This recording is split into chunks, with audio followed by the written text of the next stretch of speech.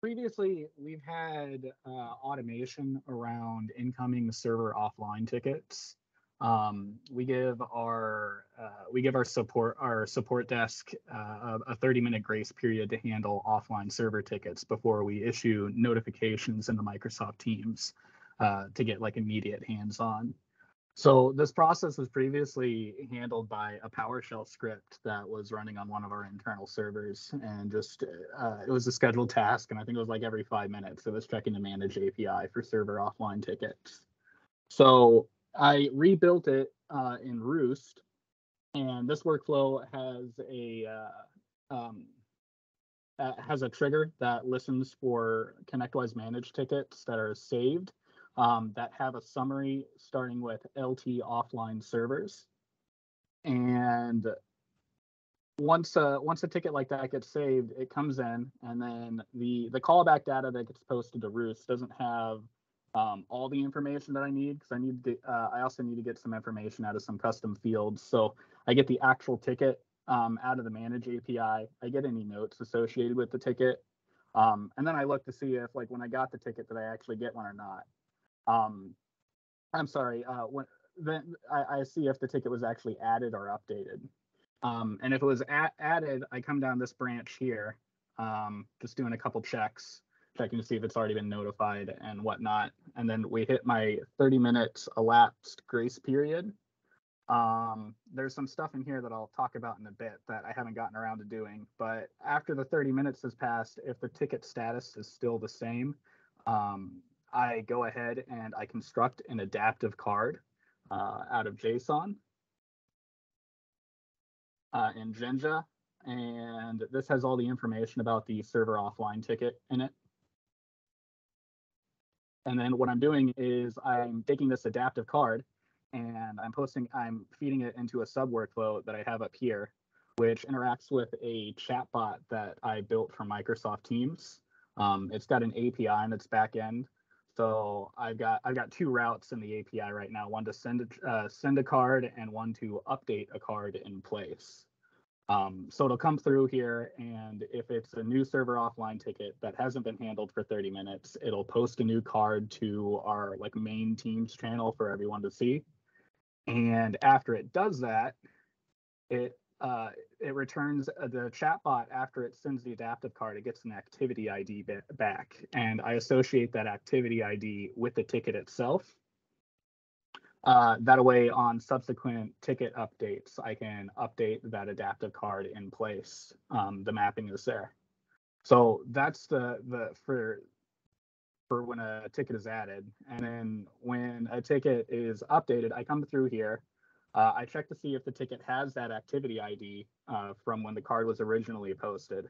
And then I check what status the ticket is in. And based on the status it's in, I construct either a yellow card or a red card, uh, adaptive cards with different formatting um, before feeding them back into that same workflow, but with an activity ID attached. And in my in my sub workflow, I'm I'm doing some logic, of course, to see if that activity ID is there or not, and update if it is, post a new one if it isn't.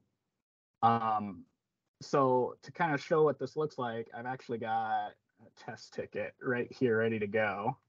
So if I save this ticket, we'll see that it's got my LT offline servers summary up here. We're gonna save it. And I adjusted my grace period down to five seconds for this demo. So it should show up here in just a brief moment. And there's a there's the adaptive card that gets posted into Teams. And we can see in this adaptive card, I got this red text here indicating that a ticket hasn't been addressed for over 30 minutes.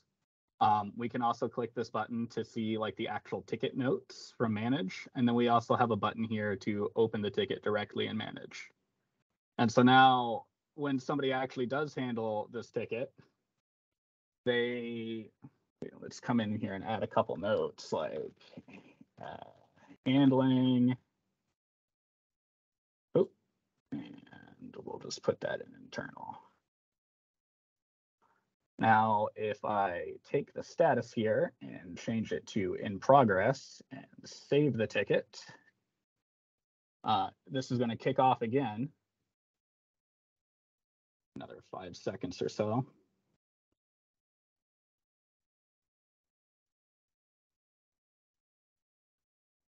And we can see that the adaptive card updates in place and it now reflects that the ticket is being addressed. And we can see my updated notes. Um, I was really particularly proud of the ticket notes section because uh, uh, in, in, the Jinja, I did some math in there uh, to shift the notes to the left or to the right every other note to make it a bit more readable uh, for people in the future. And then finally, once the ticket resolves, save it in here. Again, take about 10 seconds. Um, the adaptive card is going to update again and it'll be greens indicating that the ticket has been resolved.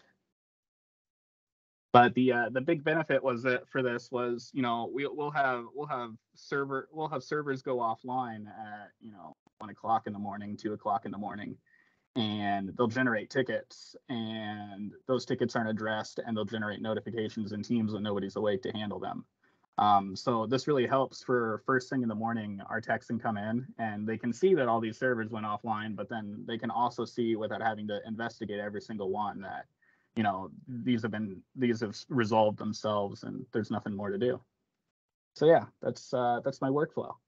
Um, I think the, the sending notifications through the chatbot is like the ideal way to get notifications into Teams compared to like using webhooks in every channel.